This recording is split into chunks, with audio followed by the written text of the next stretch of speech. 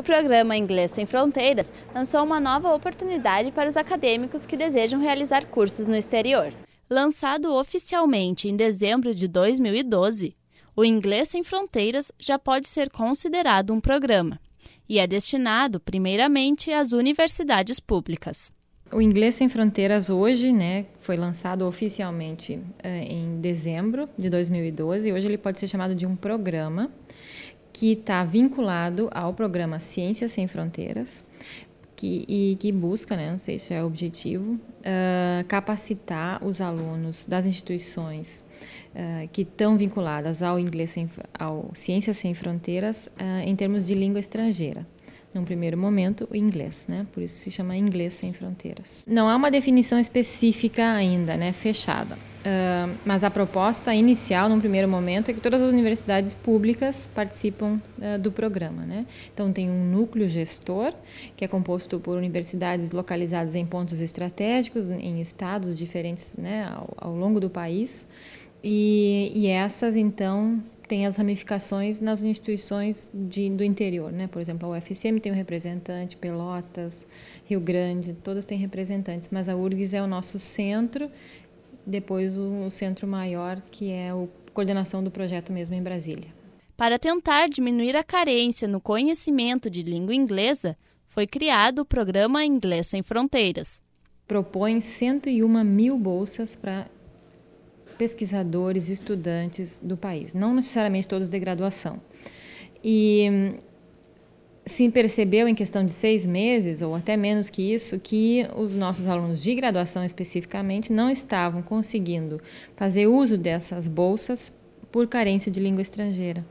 Então, num primeiro momento, ele está voltado para alunos de graduação que estão inscritos no Ciências Sem Fronteiras e que não conseguiram aprovação num teste de proficiência, né, que são exigidos pelas instituições estrangeiras de língua inglesa. Por uma de, porque foi detectada essa carência de conhecimento de língua inglesa, né? Quando se fez a primeira chamada do Ciências Sem Fronteiras, se percebeu que uma grande parcela dos estudantes se inscreviam para instituições de língua portuguesa ou espanhol. Né? A Espanha e Portugal, então, absorveu um grande número de alunos.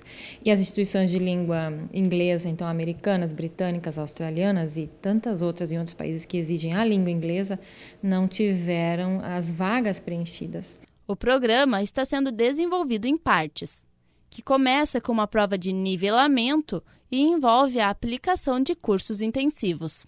Então, a primeira iniciativa foi aplicar provas de nivelamento é, que vão acontecer em algumas instituições do país, onde foi detectada um grupo de alunos que não tinha ainda aprovação na prova de proficiência, mas que estava inscrito no programa já. Então, um grupo de alunos uh, vai ser aplicado uma prova de nivelamento, que em algumas instituições conta como proficiência. Então, eles vão ter acesso gratuito a essa prova. Uh, depois, a longo prazo, um, fazer, dar cursos intensivos e cursos um, extensivos para alunos que têm carência. Também o programa quer uh, tornar todas as instituições centros aplicadores dessas provas. Então, por exemplo, no Rio Grande do Sul, a gente tinha até pouco tempo atrás só Porto Alegre que aplicava. Então, todos os nossos alunos do estado tinham que ir até lá ou para outros estados para fazer essas provas. Né? Então, o programa também está incentivando e fazendo acordos com as, as agências aplicadoras das provas, os representantes brasileiros, as agências internacionais, para que todas, todos nós nos tornemos centros aplicadores. Né? A universidade aqui já é, o professor Assai, né, por meio do professor Ney e a sua equipe, se adiantou nesse processo e já se credenciou, então a universidade já aplica